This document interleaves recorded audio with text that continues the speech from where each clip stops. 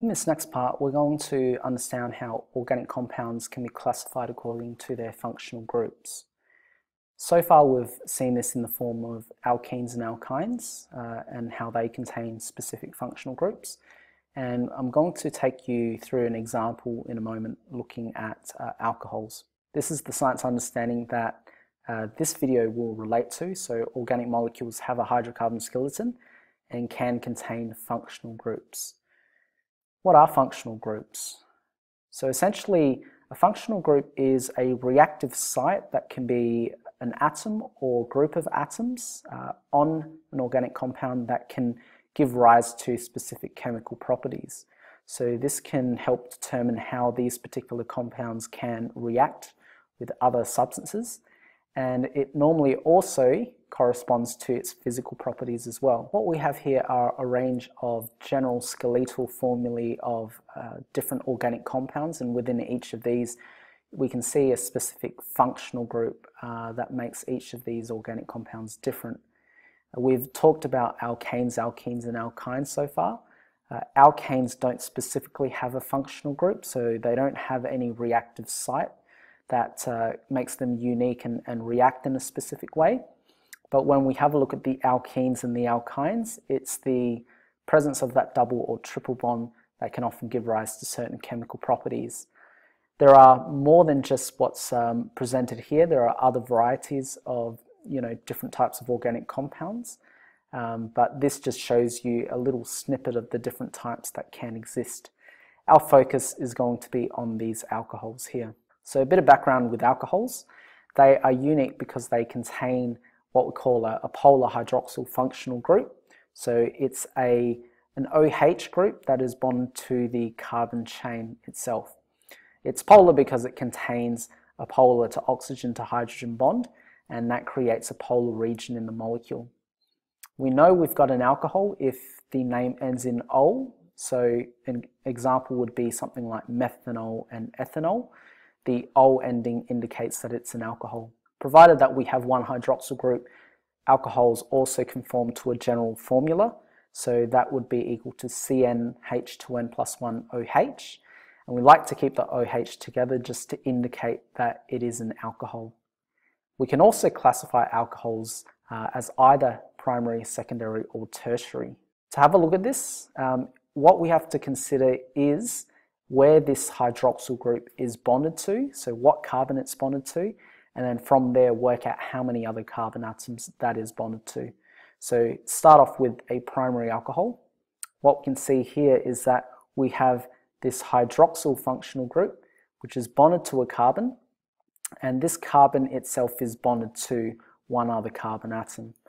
This R group here just indicates uh, an alkyl chain, so it's the rest of the molecule that we're not really concerned with, but it should contain some type of hydrocarbon chain.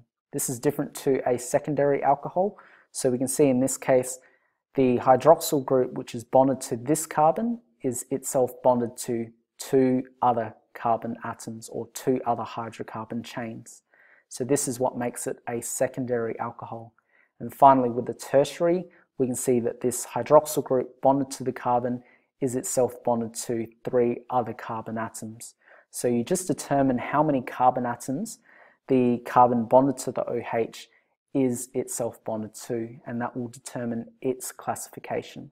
Let's have a look at how we can name for a range of alcohols. So keeping in mind that the name ends in ol, and we're going to need to indicate where this hydroxyl group is positioned. So in this molecule here, we can see that the longest carbon chain contains three carbon atoms.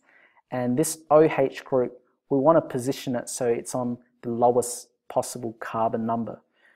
We know that 3 indicates that its prefix is pro, and we're just going to number 1 to 3 from right to left. And it's going to be a propanol, but we need to indicate where this OH group is positioned and that's because it can be positioned in many different locations. This hydroxyl group is positioned on carbon 1, so we write this as propan-1-ol or 1-propanol. So I'll write these both um, underneath. It doesn't matter where you position that number as long as you've indicated it somewhere, whether it's at the start of the name or whether it's in between the propan and the ol. So the propan indicates uh, it's derived from an alkane made up of three carbons and the ol indicates it's an alcohol. So in other words, it contains this OH functional group. Our next example here, so we can see we've got now a different uh, carbon chain. We've got one, two, three, four, five, six carbon atoms in the longest carbon chain.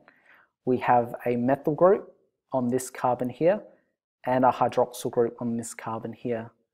We're going to number it from left to right to give the OH group the lowest possible number.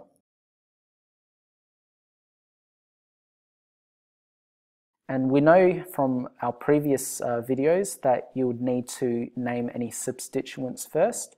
So I'm going to indicate where this methyl group is. And now we need to finish off the name, so indicating that there's six carbons in the longest chain, so it's going to be a hexanol, but it's going to be a hexan 3ol. Uh, alternatively, we could also name this 2-methyl, 3-hexanol, and just keeping in mind where those hyphens need to go. Third example, so again, let's determine where our longest carbon chain is, and it's important that it contains the OH group. Now we could have said that it contains four in the longest chain, but that's not true because we actually have a long chain of five carbon atoms going as such. So this is going to be a pentanol. Let's number the carbons indicate the methyl groups. We then write the names of where these methyl groups are. So we've got two of them, one on carbon 3 and 4. And in this case with five carbons, it's going to be a pentan. And we're going to indicate it's on the hydroxyl groups on carbon 2. Next example. In this case, we've got two OH groups.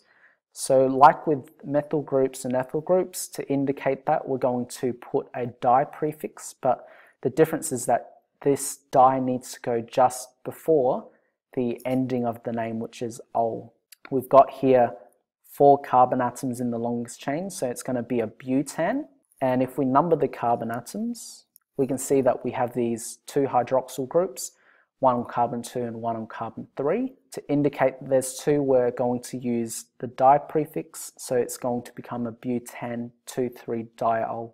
Alternatively, we can put the numbers in the front, so I'm just going to show you what this looks like. One common mistake that I see is that students put the di in front of everything, so they try to call it a dibutan 2,3-ol or a 2,3-dibutanol, which is not correct. One more example, in this case, again, determine the longest carbon chain and it needs to contain the OH group. So we've got one, two, three, four, five, six, seven. So it's going to be a heptanol. And we're just going to number from right to left to give the OH the lowest number. Let's indicate the methyl groups and the ethyl groups. And when you get the hang of it, you find that you don't need to actually circle these methyl groups, but I find it helps just to get you started. Let's now write in where these alkyl groups are and keeping in mind alphabetical order. So those are our alkyl groups and seven carbons means it's a heptan, so it's going to be a heptan 2-ol or a 2-heptanol. Now let's look at how we can draw based on the name. So we've got here 3-methyl-1-butanol. What we're going to do is start off with the longest chain of carbon atoms. Butanol indicates that there's four carbon atoms in the longest chain, and the one indicates that this OH group is on the first carbon. So I'm going to draw in my carbon chain here. I'm just leaving a gap so that I can then fill uh, up the remaining bonds with hydrogens. It's going to make it a lot more easier for us to draw the structure without having to draw all the bonds in. Let's go ahead and put this uh, hydroxyl group in now. You might realize that I've swapped the group around because I want to show that the oxygen is directly bonded to the carbon. Now I need to put in where this methyl group is. So it's on carbon number three. So we've got one, two, three. And the final step is just to fill up the rest of the bonds with hydrogens. So the first carbon with the OH group is going to contain two. Next with two, the next one with one, and the last one with three. So that would be a condensed formula for this alcohol. Second example, we've got 2,4-dimethylhexane 2 So let's again draw the longest carbon chain. In this case, it's six carbon atoms with a hydroxyl group on carbon 2. Let's add in our methyl groups and finally fill in the rest of the bonds with carbon to hydrogen bonds. Our final example, we're just going to be looking at a diol, so there's going to be two hydroxyl groups. We've got 3-ethyl octan 1,4-diol, so let's start off with the longest carbon chain. Let's add in those hydroxyl groups and fill in the remaining bonds with hydrogens. I apologize if you can't quite see the part on the very right, but we've got a CH2 and a CH3 underneath there.